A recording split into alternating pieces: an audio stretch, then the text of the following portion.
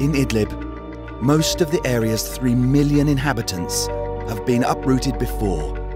Now, with the latest escalation, parents fear there is nowhere safe for themselves and their children. With over a thousand camps across northern Syria, overcrowding is increasing, with no room for newly displaced families. Cold, hungry, and tired of unrelenting crisis, an entire generation knows nothing but war. All they've witnessed is life in camps, death, destruction, and disaster.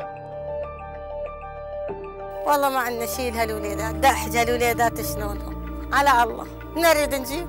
اذا إذا حبت السكر كاسة كم نقدر نسوي إذا ما حد يعني جاب لنا وعطانا منين بدنا ناكل نشرب. إذا صار مرض كورونا ما بنحسن نبرك يعني. إذا بركنا بيذبحنا الجوع.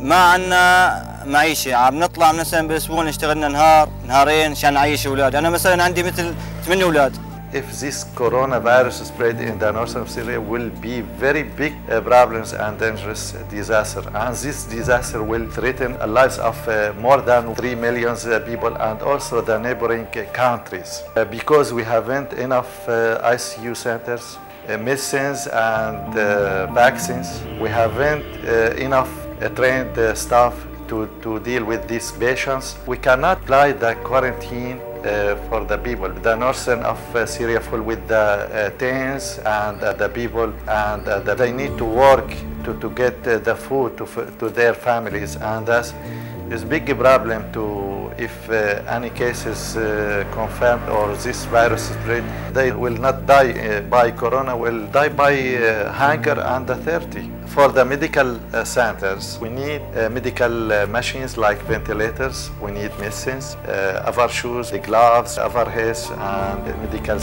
dress, sanitizers. There is so much more that needs to be done. Millions of people are in need, desperate for the lives they once had, praying to be free from war and fear. Their suffering continues. Help us continue to be a lifeline in Syria. Help us save lives. Donate to Islamic Relief and save a life now.